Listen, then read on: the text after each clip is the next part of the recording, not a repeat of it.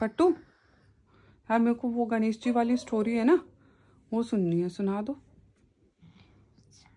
रावण की नहीं? नहीं मैंने हाँ गणेश जी वाली सुना दो आज तो। एक बार गणेश जी की मम्मी नहा रही थी है ना? हम्म हम्म। तो बोला कोई आए तो गेट मत खोलना किससे बोला? इतने थे वो। गणेश जी से? हाँ आपके जितने थे? हाँ। बेबी थी वो तो। अच्छा अच्छा। हम्म हम्म हम्म। हम्म वो बड़े हुए ना? हम्म। इतने से हम्म इतने बड़े तो। हम्म हम्म। बड़े बड़े। हाँ आगे सुनाओ। और भी बड़े। है ना? हम्म हम्म। तो वो उनका घर नहीं था ना? हम्म। उनका घर नहीं होता तो? हम्म हम्म। वो तो फ़ोन में रहते हैं। घर नहीं उनका। हम्म। घर घर में नहीं रहते थे हम्म। है ना? हम्म तो वो आसमान में सोते थे। आसमान में सोते वो है ना तो है ना?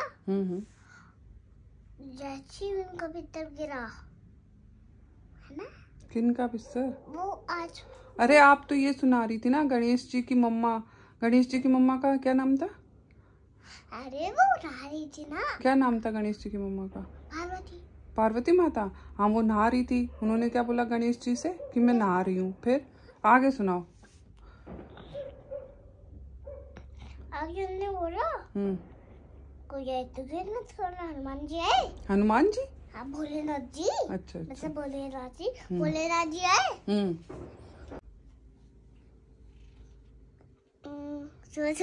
सोचो जोश नहीं मारी यार। सोच ले यार थोड़ा सा। भूल गई। अच्छा भोलेनाथ जी आए उन्होंने गेट गेट डोर रिंग बजाई। फिर क्या हुआ?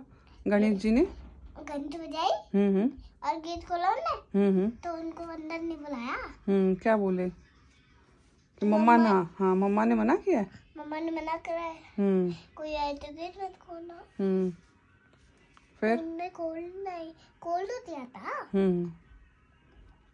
फिर? फिर हुआ उन्हें घंटी तो बजा दी थी फिर से भी। घंटी बजा उन्हें तो मेरी पार्वती नहा रही थी ना। हम्म हम्म।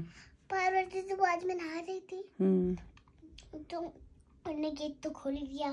बोला मामा नहा रही है। मैंने खोला पता ऐसे ही बोलते हैं। फिर? पुल्लू हम्म उन- फिर भोलेनाथ जी को?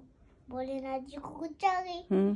तो उनने अपने दरबार से उनकी गर्दन काट दी। अच्छा। तो वो बेहोश हो गए ना। बेहोश हो गए? फिर क्या हुआ? तो वो मर भी गए। हम्म फिर? तो पार्वती आई ना होकर पार्वती माता? पार्वती मम्मा नहाकर आई हम्म। और उसने बोला तुमने मेरे बेटे की गर्दन क्यों काटी? अभी लगाओ। हम्म। तो उन्हें पीट पीट के उनको मारा मारा मारा मारा। हम्म। फिर? तो उनकी फेस पे ना हम्म। एलिफेंट की मुँह लगा दी। फिर? तो हुआ तो मम्मा वो ज़िंदा हो गई पर और वो बहुत शक्तिशाली। बहुत शक्तिशाली। गणेश जी? अच्छा। और आपके दोस्त हैं क्या? हाँ किसने बताई आपको ये स्टोरी गणेश जी ने? तो